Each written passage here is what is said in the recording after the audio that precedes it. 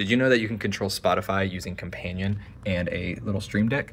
It's super easy. So there's actually a couple ways to do this.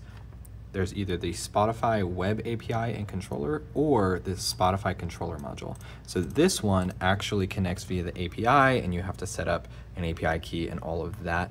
Um, this one is a little bit more powerful and can control your account from anywhere, but this one, Spotify controller, is what we use and it actually just sets a program that runs on your computer and then you can control Spotify running on that same computer using these buttons. So we have them mapped to just play and pause and that's, you know, responsive based on what's happening or being able to select a specific playlist that we play often. The buttons themselves are pretty straightforward because they have some pretty easy actions already built in, and then you can actually just grab um, whatever ID is listed inside of Spotify. So anyway, if you need a way to be able to instantly select playlists or play and pause Spotify in your room because you're running as a one-man band or whatever else, this is a super easy way to do it.